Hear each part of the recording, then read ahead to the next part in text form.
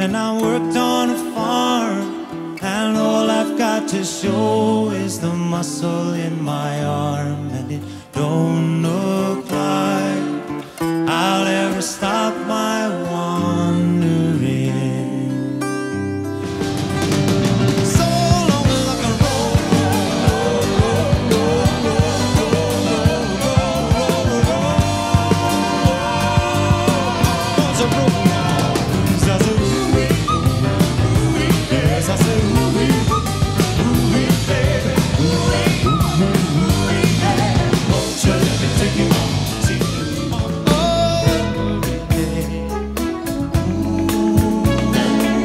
novamente.